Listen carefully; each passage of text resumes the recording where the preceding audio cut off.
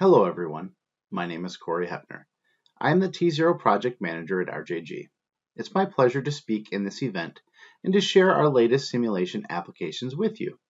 This presentation is titled Enhancing Prediction Accuracy via Sensor Technologies. RJG has been in the plastics industry for over 35 years and is headquartered in Traverse City, Michigan. We are recognized as a scientific molding pioneer in the industry. RJG operates in three continents, as shown on the map, with nearly 200 direct employees.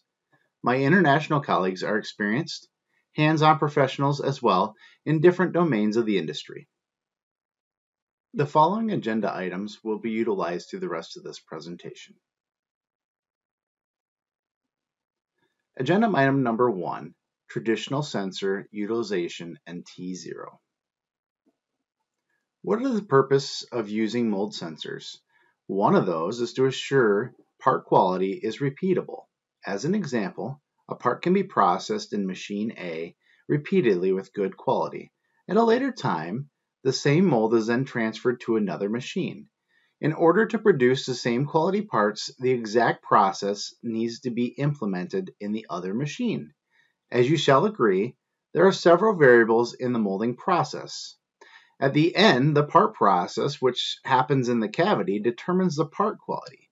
And the part process, such as pressure and temperature, can be measured by a variety of mold sensors.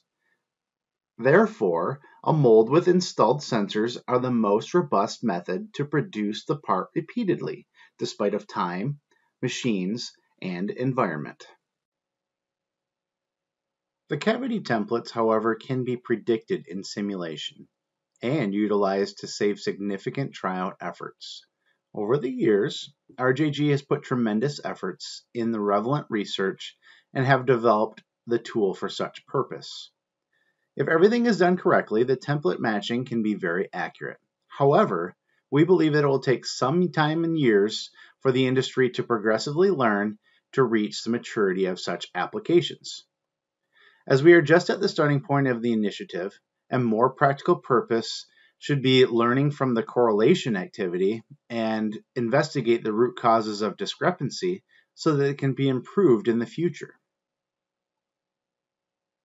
Here you're looking at the T0 framework RJG developed over the years.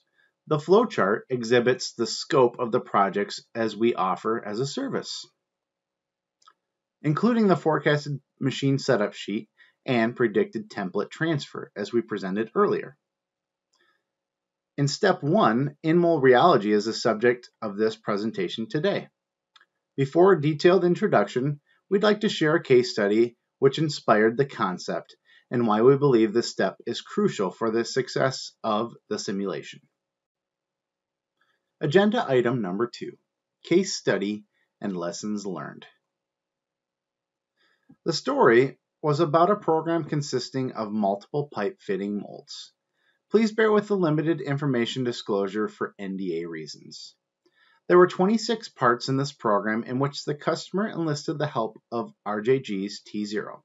The program included engineering analysis, tooling recommendations, sensor replacement, machine requirement evaluation, as well as process validation assistance.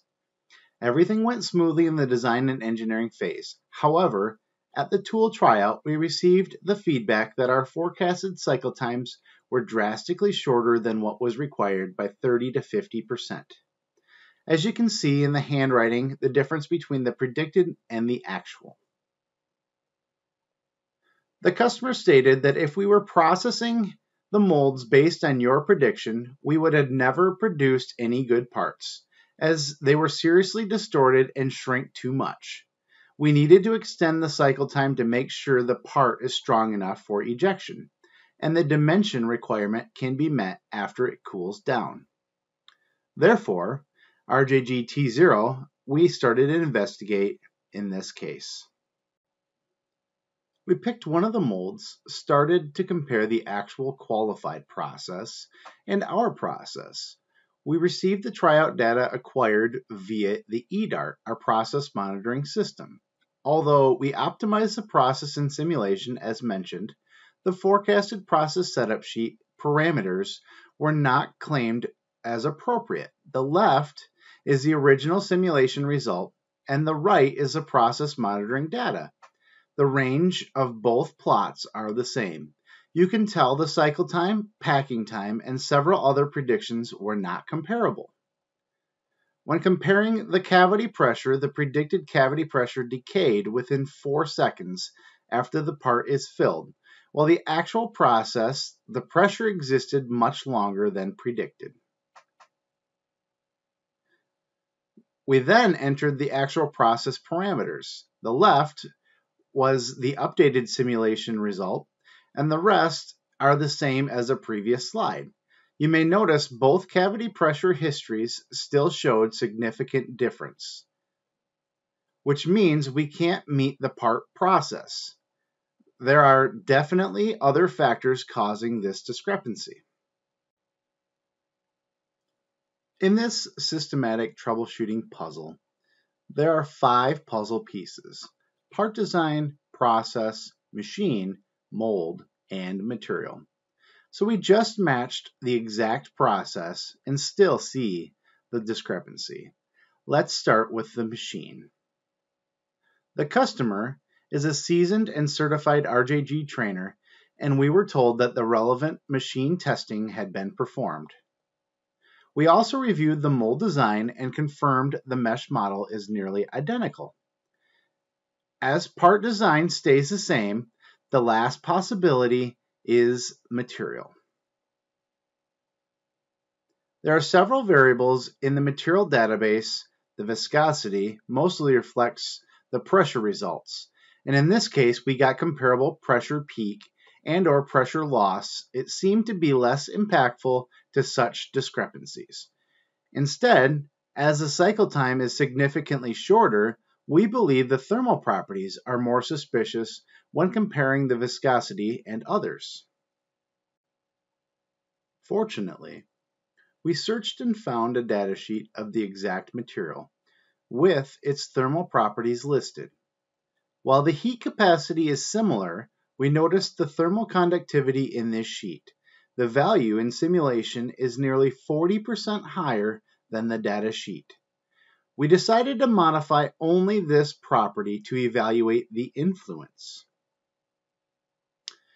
We observed significant improvement with the updated thermal conductivity property. The cavity pressure prediction, which is on the left, is much closer to the measurement. Another checking point is the intersection of the injection pressure and cavity pressure at the end of hold. The actual process on the right if it maintains the same or similar slope, the gate is frozen, otherwise it would be deflected. In this case, the prediction with updated thermal conductivity predicted just like actual. So why was the result improvement so drastic? Well, when the value of the thermal conductivity increases, the thermal diffusivity increased which implies a higher rate of heat transfer. Therefore, the part cools more rapidly, and the cooling time that impacts the overall cycle time is expected to be shorter.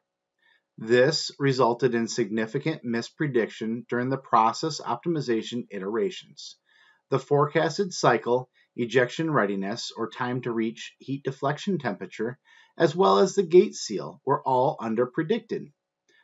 Ultimately, when the warpage is calculated, the pressure and temperature history affect the prediction.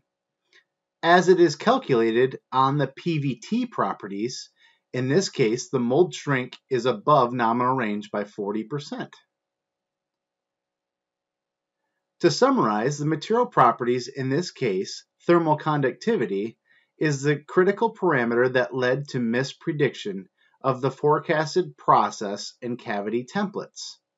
The question is, how can we avoid this from happening in the future? Are there effective solutions to verify the material properties are adequate? Agenda item number three, in mold rheology methodology. Let's reiterate the analysis procedure. In simulation, There are three major input categories which users can decide and adjust freely mesh, material, and process. Each group of inputs contain multiple variables, then the inputs are processed with the solvers in the middle and output the predictions. In the case study shared earlier, this was a material-induced discrepancy. As the material parameter is skewed, the prediction of the cycle time also went awry. In the simulation world, a phrase that comes to mind is garbage in equals garbage out. How about if we just reverse it? When a decent correlation study is achieved, what can we get out of it? Assuming the mesh is perfectly done, the process is quite matched with the, with the actual, and the material should be accurate as well. Utilizing this concept, let's build the mesh model with the same as the actual one and perform some correlation studies between simulation and the real world. In one of RJG's labs, there's a spiral mold instrumented with 8 pressure and 8 mold temperature sensors. This mesh model was predominantly prepared to increase the resolution for best results. The cavity itself is meshed with at least 15 layers across the thickness of 3 millimeters. The entire model is a full 3D mesh, including the mold base as well as other components. The sensor nodes are placed at the same location as physically placed. Some of you may wonder, why was the spiral mold chosen? And could it be other molds? Well, the answer is yes. Different configurations would also work. However, the spiral mold exhibits a unique advantage over other cavity geometries. Spiral mold cavities maintain a constant cross-sectional area which constrains the shear rate within the specific range, although it varies at different depths. As viscosity is shear rate dependent, through the changing of the fill speed, the viscosity at different shear rates can be also evaluated accordingly. In this case, the shear rate is controlled within 100 to 1800 units per second, and the viscosity at the wider shear range can be evaluated at higher fill speeds and vice versa. Meanwhile, the shape offers a long flow path and offers a space to add more sensors to observe pressure loss and others. If the cavity geometry does not provide a fixed cross section in its flow path, the shear rate at different locations and time cannot be restricted within the specific range and will not be influenced by different speeds. So what is InMold Rheology for?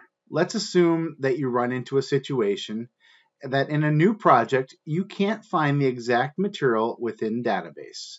Therefore, you consult vendors who suggest based on MFI or other criteria. This happens quite often.